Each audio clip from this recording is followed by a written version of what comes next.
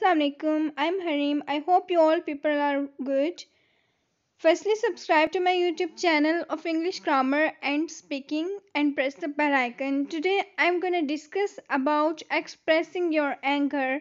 You can express your anger in the following ways. Here are some sentences अगर आपको किसी पर गुस्सा है और आपने अपने गुस्से का इजहार करना है, आपने अपना एंगर किसी को शो करना है तो फिर आपने जितने भी ये सेंटेंसेस मैं आपको बताने जा रही हूँ, इस तरह से आप दूसरे बंदे को कह सकते हैं जब भी आपको गुस्सा आए।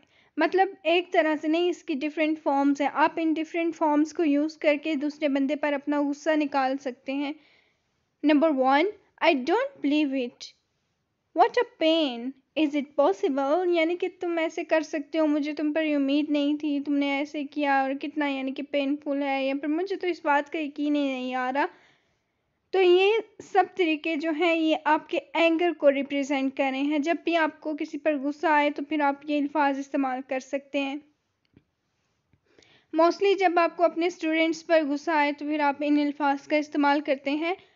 I could really do without it It really gets on my nerves.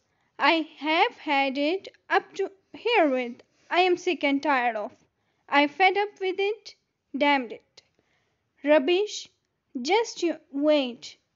Get out of my way. ज़्यादातर जो वर्ड यूज़ होता है वो यही यूज़ होता है get out of my way That's the last straw. Mind your own business. It's none of your business. And shame on you I don't think that's very clever. I get so irritated by Tom, I can't be around her. I can't understand it any longer. Please, I'm so mad right now, I can't talk to you. These were some sentences. You can use these sentences when you are angry. I hope this topic is clear to you if there will be any confusion, you may ask me in comment section and stay connected to my YouTube channel or give your views in comment section. Don't forget to give your views. Okay then, Allah Hafiz, take care.